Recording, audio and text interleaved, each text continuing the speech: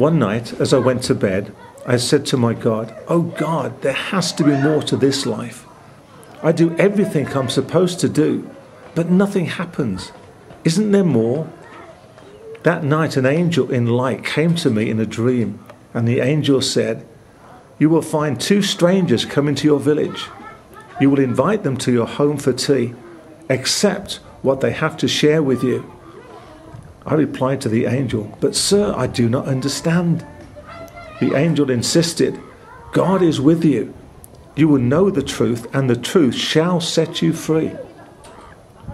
In the morning, I woke up with great expectation, and within a few hours, two foreign men walked into my village looking for a cup of tea. I invited them into my house. I explained to them what the angel told me in the dream. They began to share with me the beautiful gospel of Jesus Christ. I had been listening to Christian radio for some time, so I knew about this wonderful and encouraging message.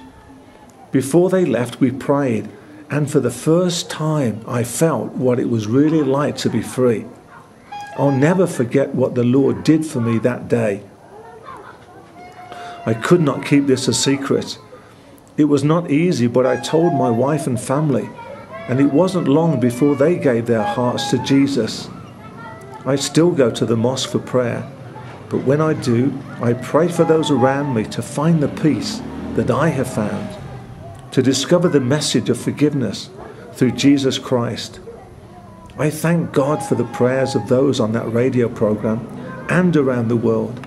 I thank God that there are people willing to go and tell someone like me about the Lamb of God